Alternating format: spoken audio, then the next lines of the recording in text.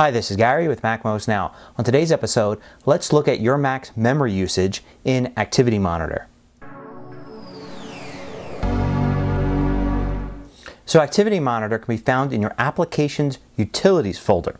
And it's useful for a lot of different things, like seeing what processes and applications are running on your Mac.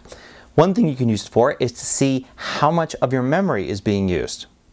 So when you run Activity Monitor, it looks like this and it shows you processes running at the top of the screen. At the bottom of the screen, you have several different tab choices, including System Memory.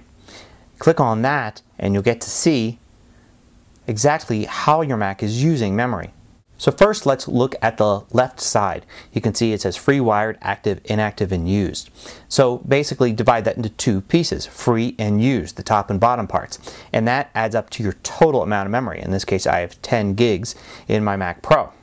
So the difference between active and inactive is active memory is memory that's now being used by the applications for something. It's inactive memory is memory that was used by the applications recently and may be used again, but your Mac is allowed to clear that out if something else needs it, and the applications will reclaim it later if it needs it then. So basically wired is important stuff that your Mac cannot remove from memory. Active is stuff that's not as important but it's being used at the moment. And inactive stuff is stuff not being used at the moment so your Mac can reclaim it if necessary. So before we go further it's important to understand the concept of virtual memory. So you have physical memory. Say you have 4 gigs of RAM in your Mac. And every time you run an application, it would take up another piece of RAM. Eventually you would run out of space and you try to run another application and it would say, sorry, can't run application, out of memory. We used to get this all the time, maybe 20 years ago, before the introduction of virtual memory.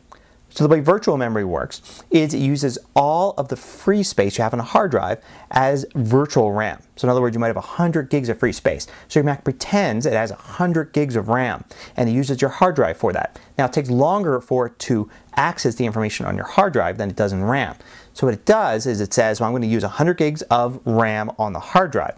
And the 4 gigs that I access the most often, I'm going to put that in memory so I can access it quickly. Only when I need to go outside of that 4 gigs of the most commonly accessed memory will I actually call to the hard drive and ask for a bit of memory there. Think of it as how you may take notes in a class. You may write down everything the instructor says, but the most important pieces of information, the ones you know you're going to need, you keep up here as well.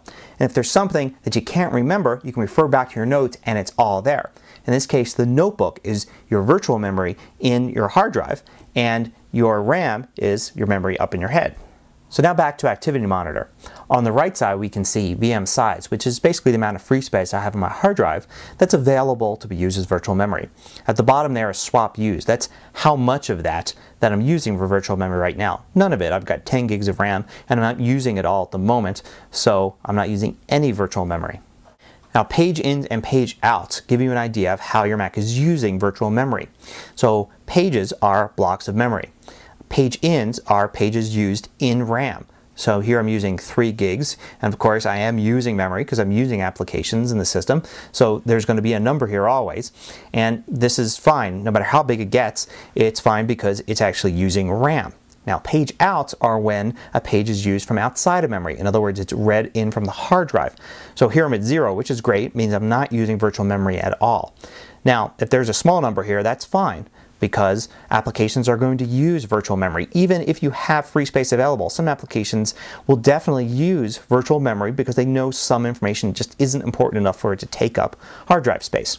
Now if your page outs get to be large, like say they get to be about the size of page ins or larger, that means you're using virtual memory a lot and that's when you may want to consider adding more RAM to your Mac.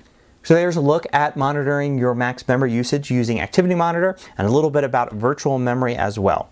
Hope you found it useful. Until next time, this is Gary Rosenzweig with MacMost Now.